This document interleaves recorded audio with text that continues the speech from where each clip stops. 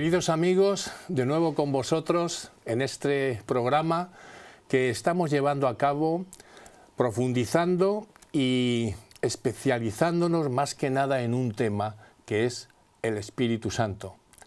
Y gracias a Dios que nos podemos encontrar aquí con vosotros. Y hoy hemos traído una invitada especial. Hoy está con nosotros Raquel Carmona. Bienvenida Raquel a este estudio de televisión. Bien hallado, Pastor Moliner. Y yo quisiera preguntarte, eh, ¿llevas algún cargo en la iglesia de Alenza a la cual perteneces?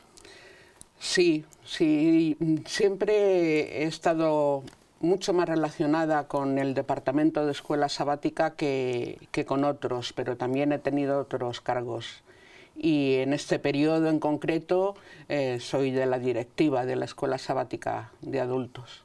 Qué importante la escuela sabática para la Iglesia Adventista. Cómo profundizamos, cómo llegamos al centro de lo que es la Biblia, que es ese sostén, ese oxígeno para el cristiano. Es, es la salsa, el perejil de la salsa de la vida cristiana. Qué bueno. Y dime, Raquel, eh, nosotros nos hemos visto y hemos estado aquí en este colegio, en el Colegio Timón, donde tú te estabas eh, desarrollando como profesora. ¿Durante cuánto tiempo has ejercido como profesora? Pues durante 24 años. ¡Wow! 24 años. 24 años.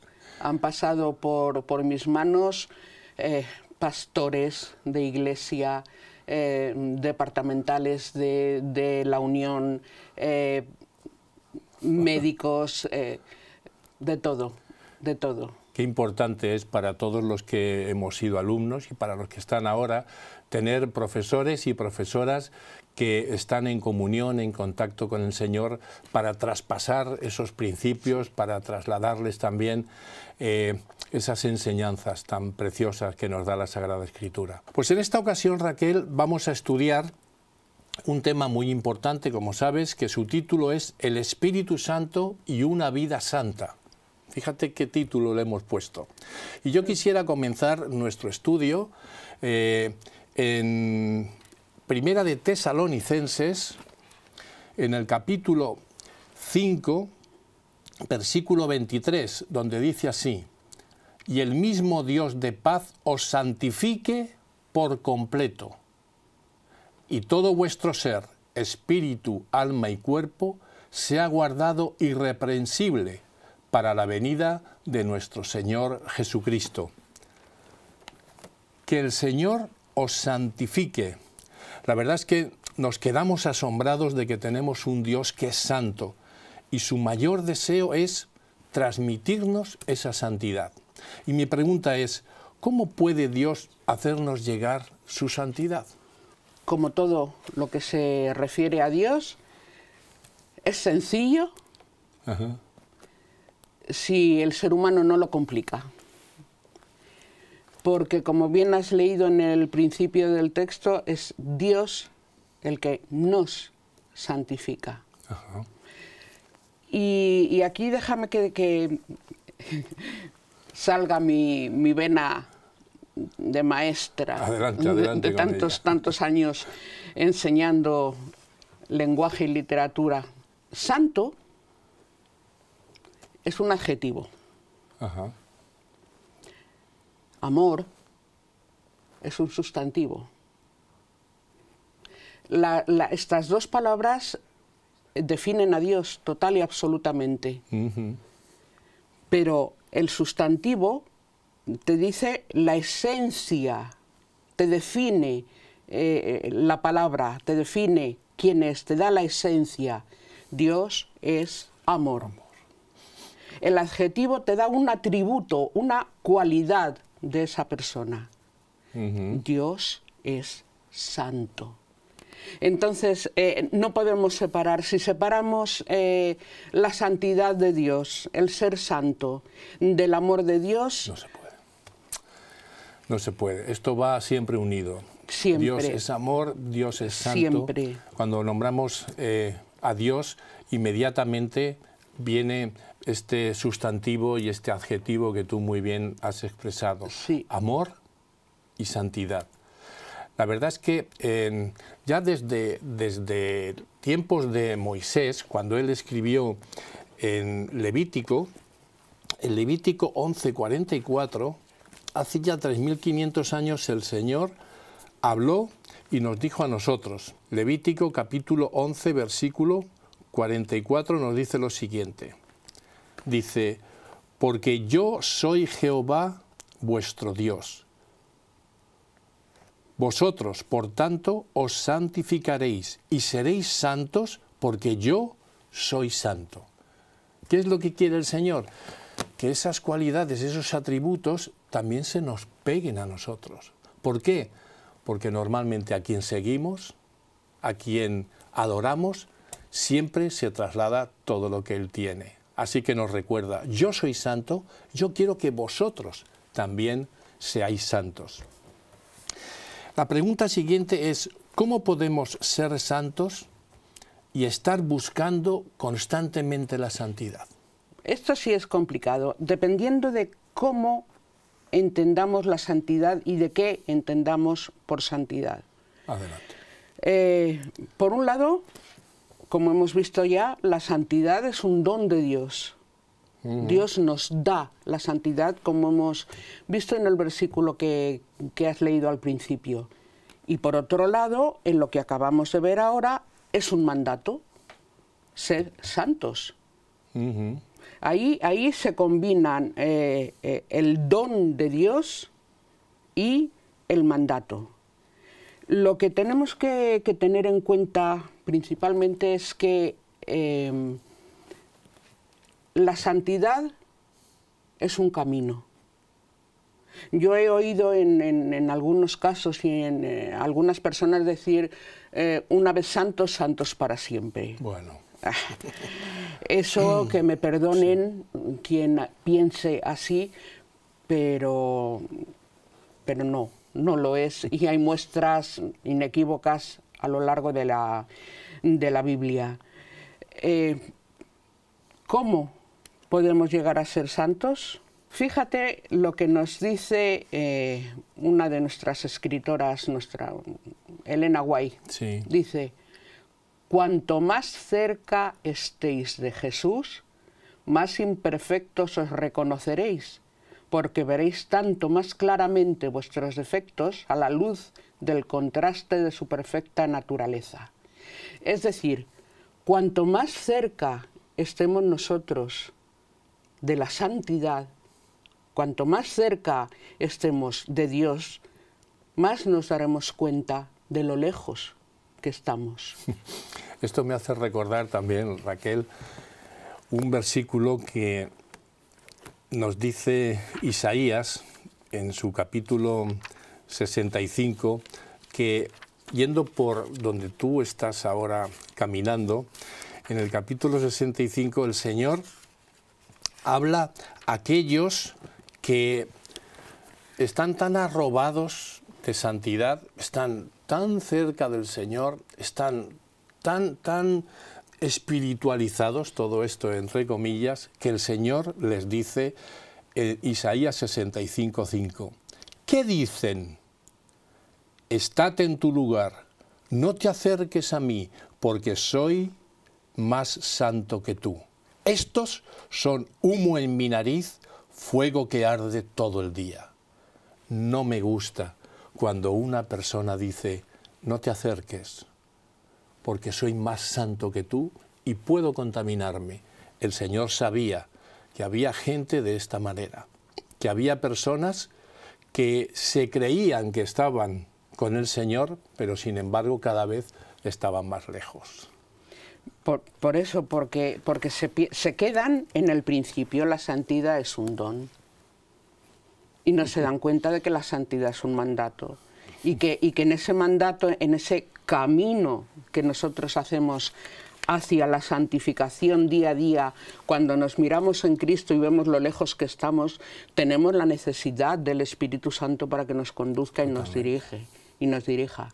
Nos caemos, pecamos, nos apartamos, pero nos levantamos con su ayuda y seguimos adelante. Por eso digo que, eh, sí, somos santos en el sentido de que Dios nos ha santificado, nos ha apartado para una misión. Que esto es lo que significa, ¿verdad? Sí, ¿Eh? concreto, ¿Eh? en concreto.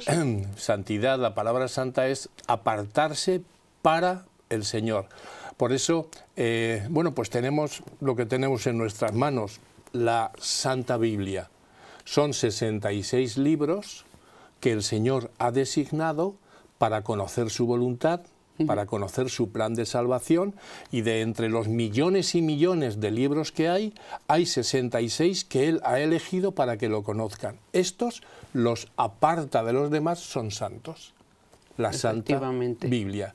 Todos aquellos que verdaderamente queramos apartarnos para Dios, también la Biblia nos llama santos. O sea que el santo no es una persona que murió y que ha hecho muchas obras aquí en esta tierra y una vez muerto lo elevan a la santidad. Nosotros como iglesia adventista tenemos santos pero vivos, donde una persona va buscando ese acercamiento al Señor. No sé, no sé si tú seguro que conoces esta, esta anécdota. Le preguntan a un niño eh, estaba en una iglesia católica con estas vidrieras tan preciosas que tienen, sí. porque en cuestión artística tienen... tienen no hay nadie como la iglesia católica. Maravillas. y estaba un niño allí sentadito, allí delante, y le, le, pregunta el, el, cura, a ver, eh, ¿qué es un santo? Y el niño se pone a mirar, y a mirar, y a mirar todo aquello, todo aquello, y dice, ya lo sé un santo es el que deja pasar la luz del cielo a través de él. Fíjate, el chaval como vio, vio la vidriera aquella tan bonita, ¿no? En, esos, en esas zonas tan lúgubres que hay, esa vidriera como deja pasar esa luz y entonces refleja muy bien a lo que hay allí expuesto. Y allí estaban los santos. Y, y, esa es la misión del santo. Dejar pasar la luz de Dios a tu través. Quiero seguir con otra pregunta muy interesante, eh, donde digo lo siguiente. ¿Existe una batalla en nuestro cuerpo? ¿Cuál puede ser? ¿En qué lo notamos? Que hay a veces un gran enfrentamiento entre uno mismo. Coméntame esa batalla, si es que la hubiera. Hay una batalla y es una batalla tremenda esa es, una lucha que cada cristiano tiene consigo mismo día a día. Y si no la tiene, mal vamos. Si vive feliz y contento, mal vamos, ¿verdad? Eh, ¿Por qué tenemos esta batalla? Pues es muy sencillo. Tenemos esta batalla porque nosotros, el pecado, vive en nosotros, nacemos con la tendencia al pecado. esa naturaleza pecaminosa. Nuestra naturaleza pecaminosa nos lleva, nos es muy poderosa en nosotros. Y ahí hay un conflicto tan grande, tan grande, que evidentemente es una batalla. Y me acordaba yo, Pablo, el apóstol Pablo, Puedes mirar, eh, tú que tienes la Biblia más, sí. en Romanos 7, 19 y 25, que nos cuenta Pablo. Porque no hago el bien que quiero, sino el mal que no quiero, eso es lo que pongo por obra. Y si lo que no quiero, eso es lo que hago, ya no lo obro yo, sino el pecado que mora en mí. Ahí está la batalla, ¿no? Ahí está la batalla y la batalla de Pablo del gran Pablo. ¿Eh? El querer hacer el bien y le sale el mal. Y si leemos en, en Gálatas, en Gálatas nos dice, andad de acuerdo, andad en el Espíritu, andad de, acuerdo a los consejos del Espíritu Santo y no satisfagáis los deseos de la carne. Porque a nosotros lo que nos brota, lo que nos sale por naturaleza es ser como somos esa naturaleza pecaminosa, ¿verdad? Es una tremenda, tremenda, tremenda batalla. Y, ¿sabes? Me acordaba, e, en esta batalla o tenemos la ayuda del Espíritu Santo, o miramos directamente cara a cara a Jesús y nos damos cuenta de lo lejos que estamos y de cómo necesitamos una ayuda extra, una ayuda divina para nosotros avanzar, nos podemos encontrar con, con algo tan tremendo, tan tremendo, como le pasó a Pedro caminando sobre las aguas. Que dejó de mirar mientras a Jesús. miraba a Cristo, mientras miraba a Jesús, podía caminar sobre las aguas. En el momento que se pensó que por sí mismo conseguía las cosas, que por sí mismo podía vencer esa naturaleza humana de irse al fondo, se hundió. Y eso es lo que nos pasa cuando queremos vivir nuestra vida. Si queremos vivir nuestra vida sin fijar nuestros ojos en Cristo, sin mirarle a Él y sin asirnos de nuestra, de su mano, fuertemente, nos hundimos. Difícil, ¿eh?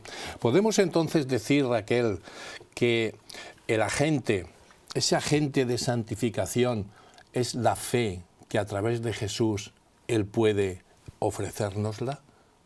Él es el autor y consumador de esa fe que nos hace estar en contacto, en comunión con Cristo a través del Espíritu Santo, quien nos va a dar esa santidad que nos va a hacer idóneos para el cielo. Es que sin fe nadie verá a Dios. Es imposible agradar a Dios, ¿verdad? Imposible. Alcanzar la salvación sin fe, agradar a Dios. O sea, la fe es absolutamente fundamental. Es la salvación. Te salvas por fe. Sí, señor, ahí le dedicaremos también algunos. Mm, eh, le dedicaremos porque la justificación efectivamente es por fe. El ser declarado justo es por la fe, no por las obras. Otra pregunta que quiero comentarte, eh, Raquel. ¿Por qué eh, se tiene muchas veces un concepto de que la ley es fría, de que la ley es inmisericordia, condenatoria? Cuando Pablo dice en su palabra, eh, dice la palabra de Dios dice que la fe, que perdón, que la ley es santa, buena y justa. ¿Cómo tenemos nosotros ese concepto de la fe, de la ley? Pues eh, porque no conocemos la ley. Hay personas que no conocen la ley. Mira, en, en Primera de Timoteo 1.8 Sí, dice que la ley es buena, pero fíjate lo que dice detrás, usada legítimamente. El problema, el problema viene cuando se ha hecho un uso ilegítimo de la ley. Cuando eh, en el nombre de Dios y en el nombre de la ley eh, se han cometido atrocidades, pues eh, evidentemente puede parecer una ley condenatoria, una ley fría, pero es que no lo es. No lo es, porque la ley eh, está presente, no, no me refiero ahora solamente a la ley de Dios, todo se rige por las leyes. Claro. Para todo tiene que haber una ley. Si no hay ley, ahí es un caos. todo. Efectivamente, en cualquier ámbito de la vida que tú pienses, eh, la ley ha de estar presente. Eh, Si nos remontamos, es que es, que es, es bellísimo. Si nos remontamos a- a- al Edén, no estaban los, la, las die- la tabla de los diez mandamientos, No no estaba. No era necesario. No era necesario porque tenían un contacto directo con Dios, veían el carácter de Dios, conversaban con Dios, sabían lo que Dios les pedía y, y- y vivían felices, absolutamente felices. ¿Qué es lo que sucede? Pues todos lo sabemos, se, comete el gravísimo error de escuchar al, al- al engañador y entonces eh, eso que habían aprendido, eso que tenían en su corazón de, de los paseos maravillosos con Dios por, por el Edén, mm, desaparece. Y Dios, todo misericordia, todo amor, dice, venga, os lo voy a escribir y os lo voy a poner sencillito, sencillito, sencillito y clarito, para que sigáis siendo felices. y nos lo pone sencillito y clarito, con, con, frases cortas, con frases contundentes, para que entendamos. Se hace, eh, voy rapidito, se hace...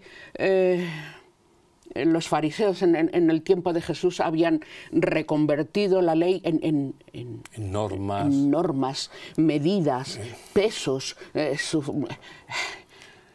aquello, no, se podía, no, se, podía cumplir. eso es una ley misericordia, es una ley fría, es una ley que, que condena, es una ley que machaca. Y llega Jesús, que es el plan B, y les cuenta ¿oíste que fue dicho? Pero yo te digo, y el no matarás mm, se convierte en si insultas a tu hermano estás matando. O sea, el cumplimiento de la ley, según eh, Jesús, cuando llega al Nuevo Testamento y ya lo aclara diciendo lo que tú has dicho, ¿no? Oísteis que fue dicho, no matarás, pero yo os digo que el que insulta está matando. Es más difícil. Si no tienes a Jesús en el corazón, es más difícil cumplir eso que no ser un legalista, un fariseo y decir, mira, aquí pone esto, yo lo voy a cumplir. No mato, yo ya estoy cumpliendo. Pero el Señor fue un paso más allá. Mira, hay, hay una, cosa que está muy clara. Eh, la ley es santa, justa y buena porque es la manifestación, es, la expresión del carácter divino, es la expresión del carácter de Dios.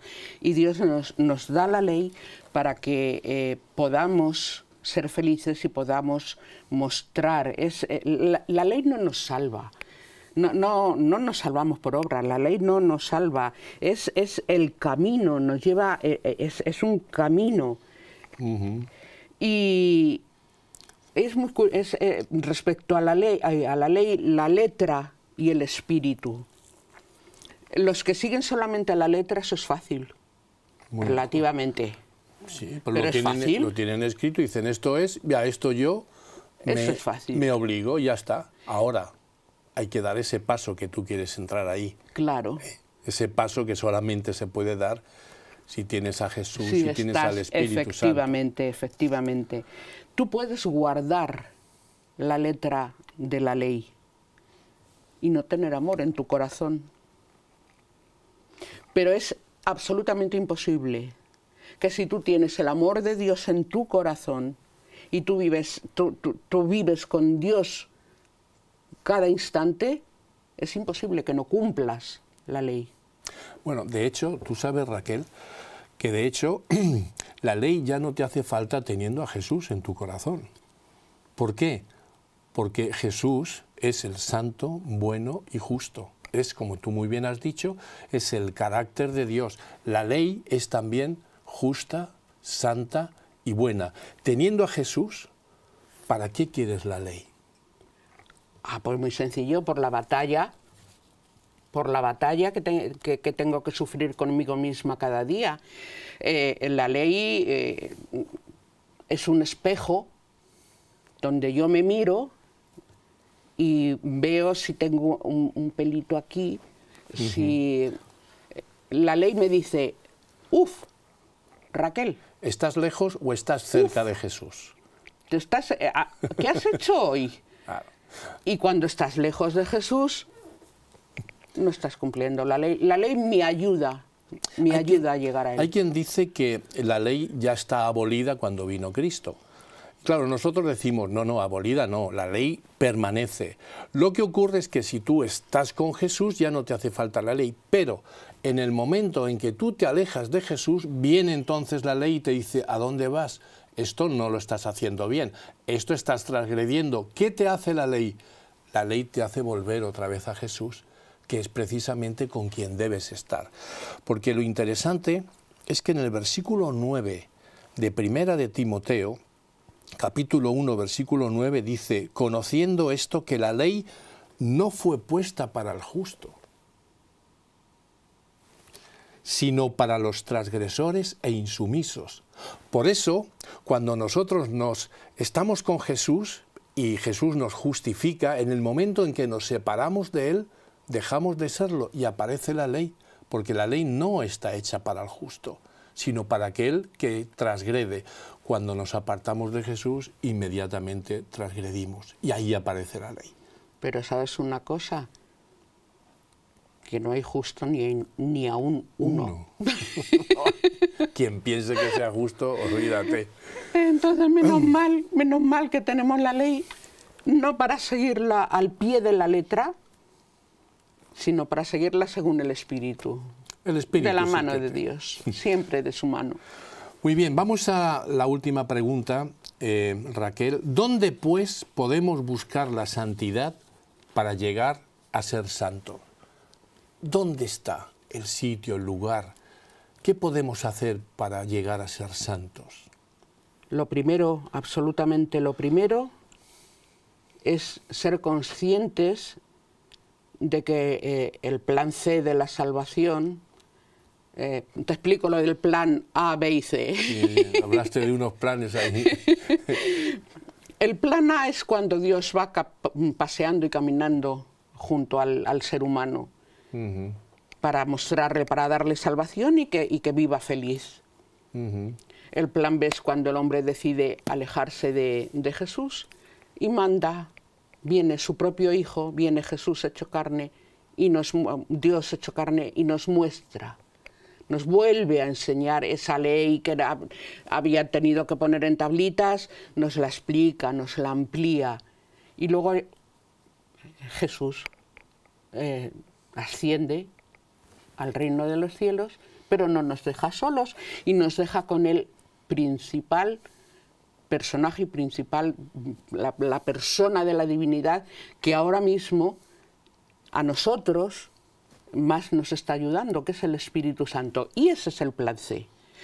Llega el Espíritu Santo a nosotros para recordarnos, para corregirnos, para darnos fuerza, para enseñarnos, Guiarnos a toda la verdad. conducirnos a toda a, a la verdad. Entonces, lo primero, lo primero es cada día reconocer la necesidad que tenemos del Espíritu Santo. Dice que mm, cuando el Espíritu Santo ha llenado nuestro corazón, sin duda prestaremos un servicio activo para Dios.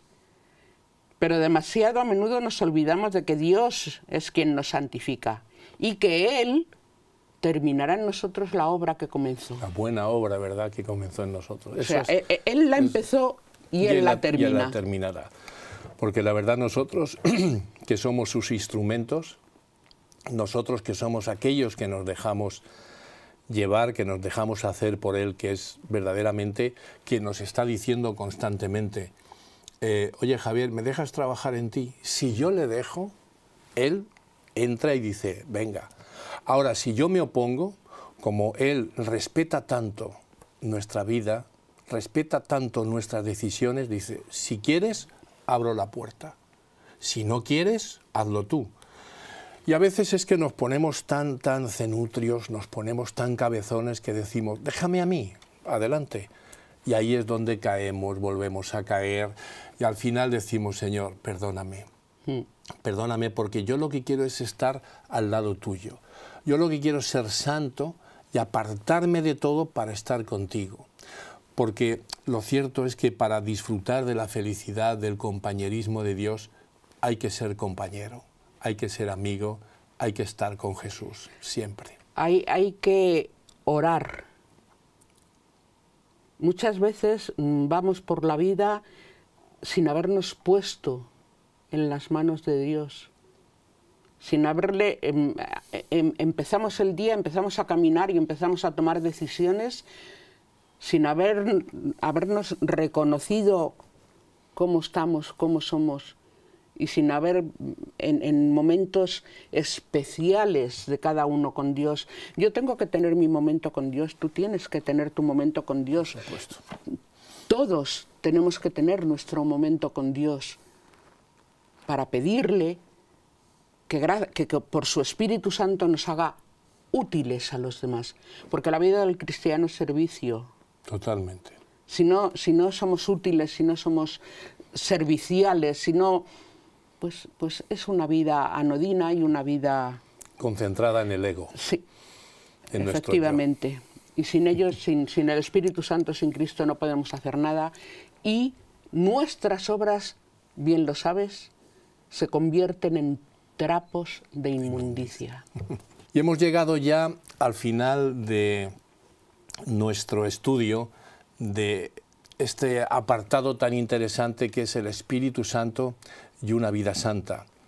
Yo te doy las gracias Raquel por haber estado aquí y también muchas gracias a todos los telespectadores que hemos estado, como habéis visto, estudiando el Espíritu Santo y una vida santa.